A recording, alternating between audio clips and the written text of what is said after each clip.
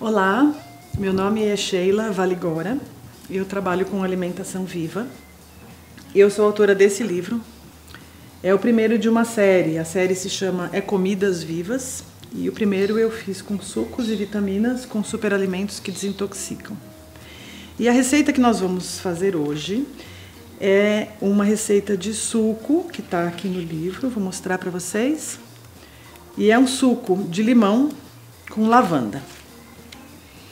Ele é muito especial, todo mundo conhece limonada, enfim, é uma bebida super conhecida no Brasil, mas não com lavanda, porque lavanda, primeiro, não é uma planta nativa do Brasil e nós estamos acostumados a associar a lavanda com um perfume, porque a lavanda é usada para perfumaria. Mas a lavanda também é uma planta que pode ser usada na culinária e que dá uma sofisticação para os pratos incrível, porque ela tem sim um perfume mas ela dá um aroma e ela tem uma qualidade dentro do organismo muito refrescante. Então, eu sou super fã de lavanda, se eu pudesse eu colocaria em tudo. E aí então a ideia foi fazer essa limonada com a lavanda. Bem, então o preparo dessa receita nós vamos usar água. Aqui eu misturei água normal com um pouquinho de água com gás que vai dar um, um efeito assim um pouquinho borbulhante, como refrigerante, fica muito gostoso um litro de chá de lavanda. Eu vou misturar o chá que já está pronto, que ele está bem concentrado com a água, formando um litro de chá de lavanda frio. Eu vou usar um potinho assim, que são mais ou menos três colheres de sopa bem cheias de mel silvestre. E sempre, para usar menos adoçante, açúcar, eu uso um, a estévia.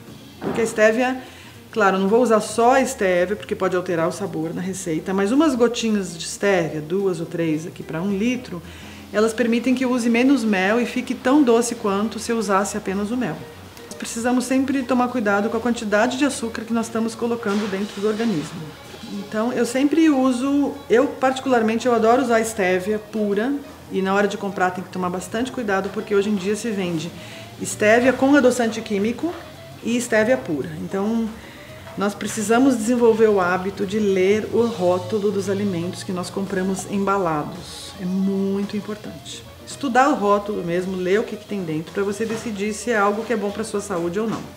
Naturalmente, os adoçantes químicos não são bons para a saúde.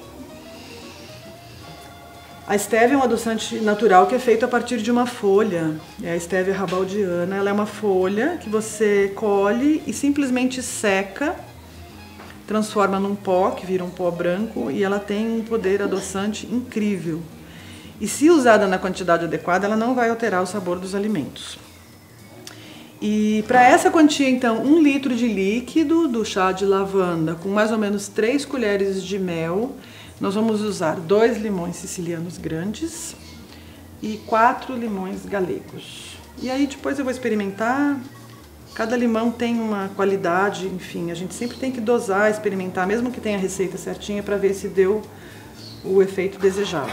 Bem, primeiro eu vou explicar como é que eu fiz o chá de lavanda. Então, fervo a água e coloco, essa é a parte mais importante, você pode colocar as folhas da lavanda, a flor da lavanda ou a semente um separado do outro, um junto com o outro, os três, dois juntos, da maneira como você quiser. Geralmente, para fazer o chá de lavanda, eu não fervo a água totalmente, eu deixo aquelas bolinhas começarem a subir e desligo.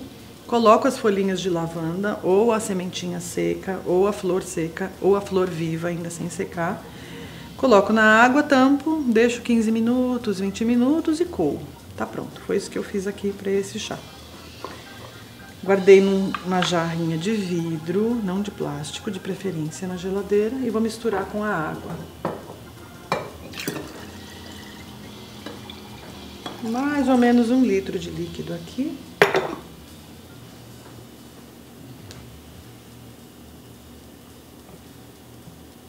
E agora os limões.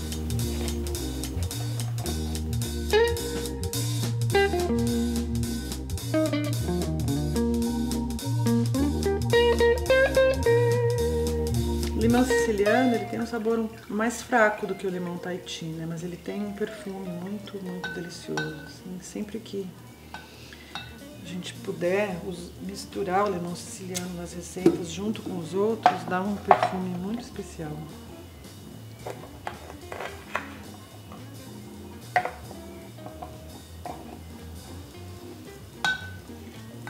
Se você coloca uma bebida muito gelada dentro do corpo, aí o corpo precisa de alguma forma aquecer essa bebida e, e deixar ela na temperatura do próprio corpo para fazer a absorção. Então, o choque de uma bebida muito gelada no corpo, é, você vai gastar uma energia que você poderia estar gastando para outra coisa para aquecer esse líquido dentro do seu organismo. Então, é legal se a gente puder acostumar a tomar as bebidas o mais próximo possível da temperatura do nosso corpo.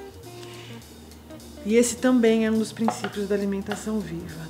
É, preparar os alimentos de uma forma que você não gaste tanta energia com a digestão possa usar a tua energia de vida assim disponível para você produzir os teus trabalhos, criar, enfim, dançar, fazer o que você faz, mas não precise gastar uma quantidade tão grande de energia digerindo. Então, como eu tinha falado para vocês, eu vou colocar, eu vou experimentar três gotas, vou colocar só três e depois se precisa mais. Mas ele é bem poderoso, então tem que usar com parcimônia mesmo, colocar pouquinho.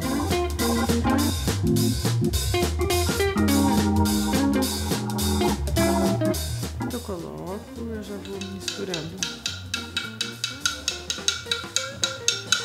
Esse, esse material aqui, o ele é bem legal para fazer as misturas, homogeneizar os alimentos, né?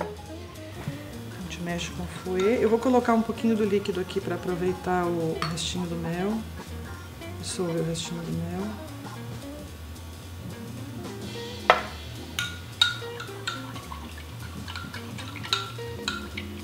que já foi tudo.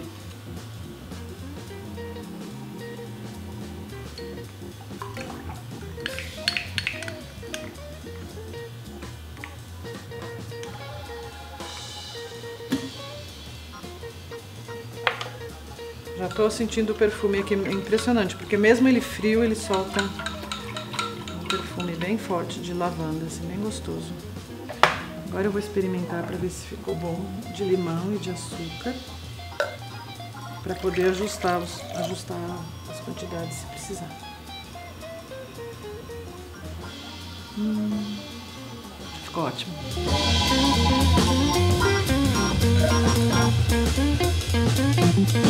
Então essa é a limonada de lavanda com mel e estévia. Saúde!